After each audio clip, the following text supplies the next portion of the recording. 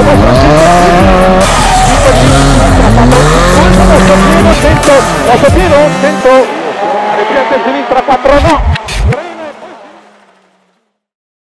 Domenica 27 febbraio, proprio qui, Schirana, ore 15.30, è l'appuntamento con la fase finale.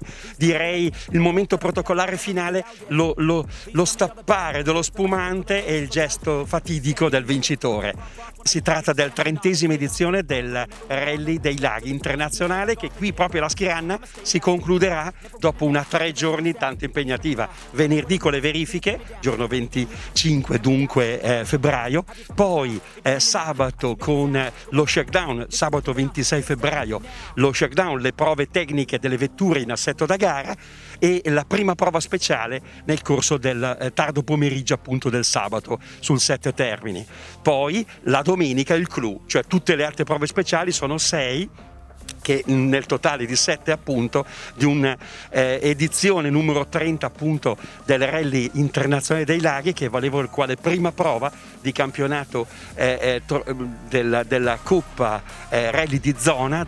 Ma ora eh, cerchiamo di capire meglio proprio eh, quali sono gli elementi base che portano questa gara a essere così tanto attesa ma soprattutto a suscitare un grande entusiasmo tra team, scuderie, piloti, piloti navigatori e una serie di eh, tam tam di base che, eh, di cui siamo anche noi protagonisti. Non dimentichiamo che Prealpina e Sempione News con i social collegati e oltre al sito prealpina.it sono appunto media partner e dedicheranno grande spazio. Ci sarà anche uno speciale sull'edizione cartacea e online che dirà tutto. Le prove speciali sono tre diverse, si parte da sette termini, dicevamo che è la prova d'apertura, quindi si sviluppa con il clou del Covignone e è, è, che è ripetuto due volte, mentre sette termini tre volte e un'altra prova che viene ripetuta due volte è certamente la Valganna in una nuova configurazione. Dunque ci sono elementi di novità con elementi di consolidamento ormai